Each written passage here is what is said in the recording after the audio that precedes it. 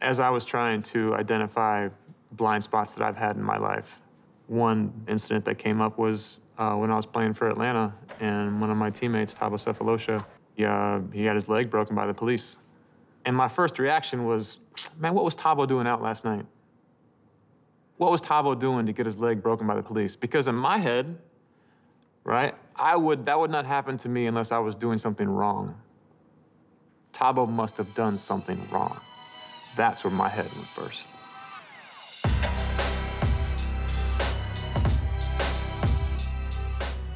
What am I known for on the court?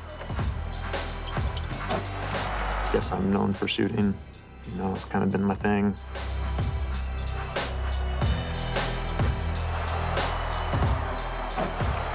When it came to understanding race and the complexities of race, I, I, certainly, as a white man, didn't think I knew it all, but because I've been in the NBA for a bunch of years and because I have white friends and I have black friends, I felt like I probably didn't understand it all, but I kind of got it. I probably. I certainly didn't feel like I was a part of a problem.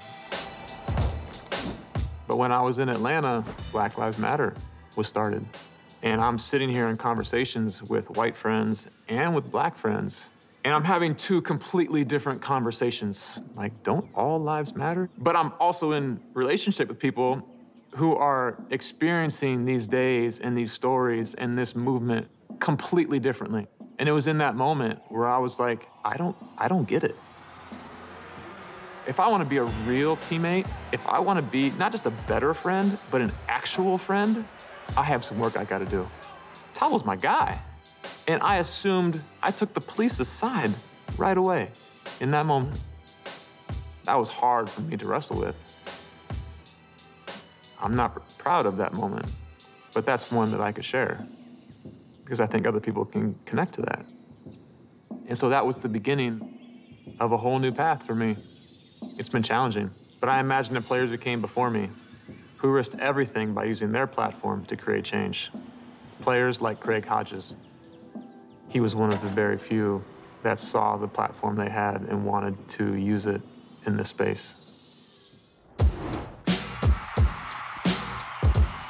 When I think about the tradition of athletes that I want to be a part of, men and women who have stood up and spoken up, the kind of OG I think about is Craig Hodges. I first heard of Craig when I was a kid. Three times I watched him win the NBA three-point contest on TV. I was a shooter, so it was only natural to admire a guy who could hit from just about anywhere on the floor. But the truth was, I didn't even know about all the other kinds of shots he was brave enough to take. In 1991, he was on the Bulls, playing in the finals against Magic Johnson and the Lakers. Craig went up to the Stars with an idea. They boycott Game 1 in LA to advocate for more black representation in the league office and with the team owners. But no one else was willing to go along with the plan. A few months later, though, Craig went to the White House with his championship team.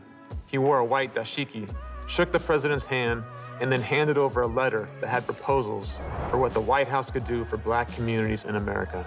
He'd never hear back. Those were just a few of the more publicized incidents. Behind the scenes in the locker room, Hodges pushed his peers to speak out more.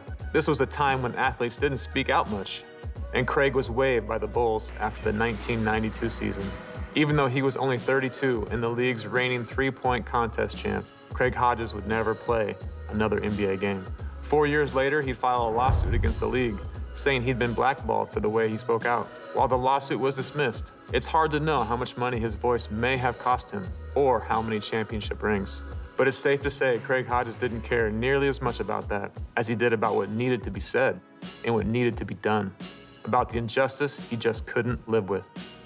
You put it that way, and you realize that us players today are the descendants of Craig Hodges as much as we are of any big star or legend. Every time we use our voice, every time we do something with our platform, we're following in his footsteps. And as far as I'm concerned, there's a lot of work left to be done.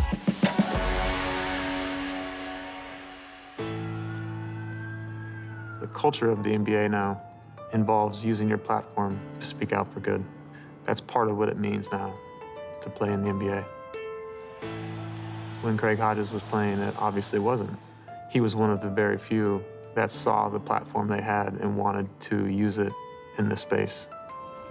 You know, his voice wasn't heard in the moment. He planted the seed that has caught on. His legacy will forever be that he was one of the players that started guys speaking up and using their voice and understanding that we have a platform and that we have to take advantage of it. Privilege is one of these words that just throws people. We stereotype a lot of white people who act a certain way, have certain prejudices, but I can't pass judgment. You don't know what you don't know. As white people, we don't want to show where we've missed.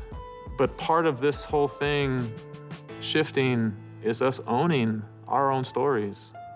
That takes hard conversations. And that's where we have to be. Those are the conversations that we have to have. I believe in the good of people, and I want to call on the good in each of us to take that step forward.